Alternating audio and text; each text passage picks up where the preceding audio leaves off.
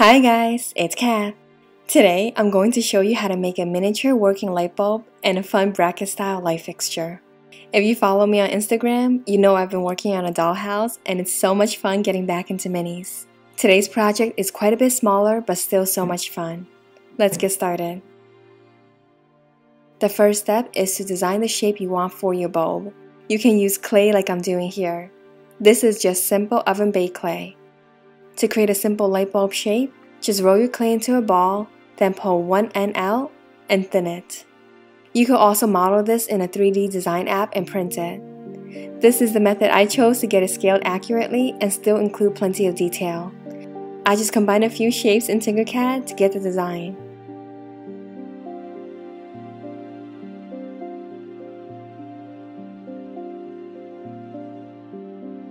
Once you have the basic shape you like, it's time to make a mold of it. To do that, I'm using this two-part silicone mold kit.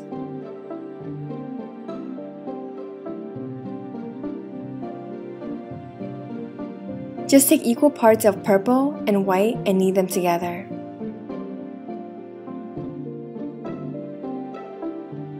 Form it into a ball and wrap it around your light bulb. Encase it completely in the silicone leaving a tiny hole at the base for the bulb. I wait about 15 minutes for it to fully cure and then I cut through the middle. Just take a knife and slice it all the way around. Pull the halves apart and remove the model.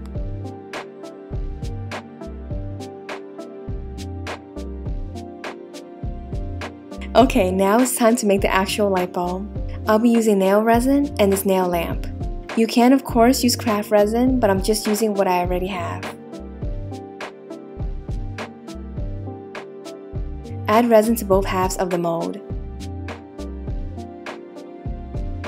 Cure it under the light for a few seconds. Add some more resin to one half and drop in a tiny LED bulb to cure again.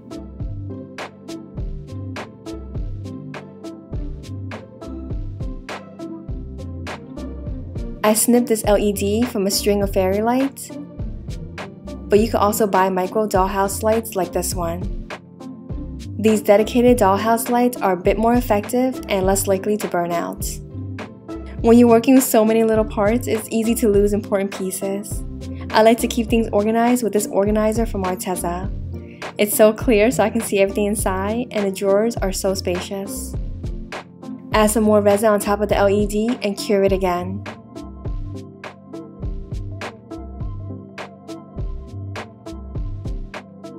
Combine both halves and add a drop of resin to the base where there is a tiny opening. This will hold both halves together when you pull the silicone off. Cure this drop of resin. Then pull the silicone off and you have your bulb. I recommend brushing on another layer of resin to add shine, smoothness, and strength. You can make clear bulbs in any shape and size you like.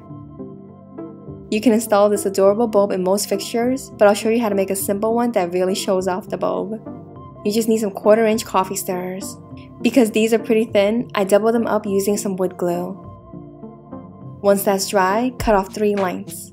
Two lengths that are one and a half inches long, and one length that's one and a quarter inch long. Take the one and a quarter inch piece and glue it perpendicular to one of the one and a half inch ones. Then take the second one and a half inch piece and sand both ends at a 45 degree angle. Glue that at an angle against your bracket. I'll be painting this black, but you can keep it natural wood. I drill a hole at the front edge for the wires of the light bulb. You can leave the light bulb as is, but I had a few metal beads that I added to the top just for some extra detail.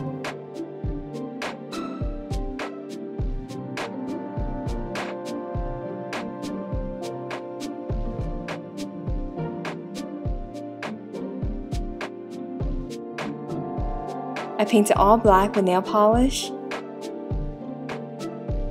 Pull the wires through the hole we drill and wrap it around the bracket.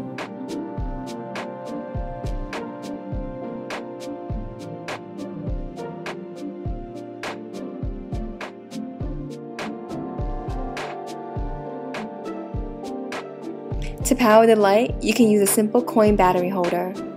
These are widely available and super easy to use. It has two wires that you can just attach to the two wires coming from our bulb. I'll use a different method to power it inside my dollhouse because I want to hide the wires. But I just wanted to quickly show you how easy this can be. I hope you guys like this video. I'm so excited to show you the progress on the dollhouse. I'm nearly done with the structure and will share the process as soon as I'm done. I'll see you guys soon. Bye.